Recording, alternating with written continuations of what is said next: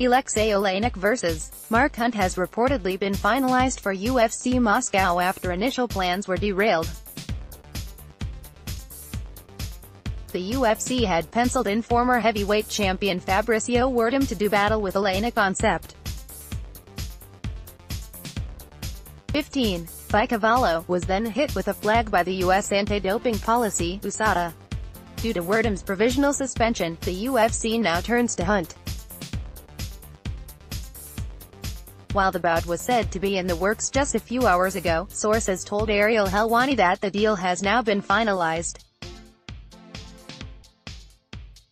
Peep the reveal below. This fight is finalized, sources say. Ariel Helwani, at Ariel Helwani, May 25, 2018 Oleinik has gone 3-1 in his last four outings.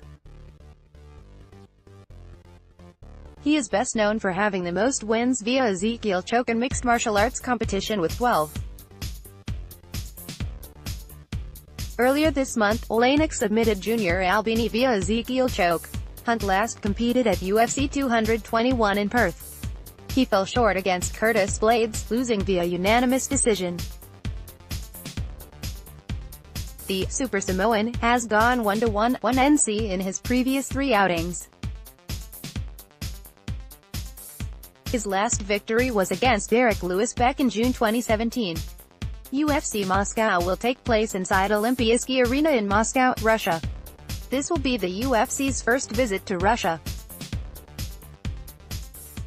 No other bouts have been set, but Kyle Bochniak recently challenged Artem Lobov who happily accepted.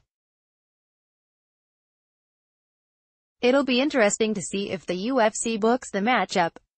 Who do you give the edge to, Aleksei Oleinik or Mark Hunt? Join the new MMA News Fantasy League, powered by UFC Pick'em.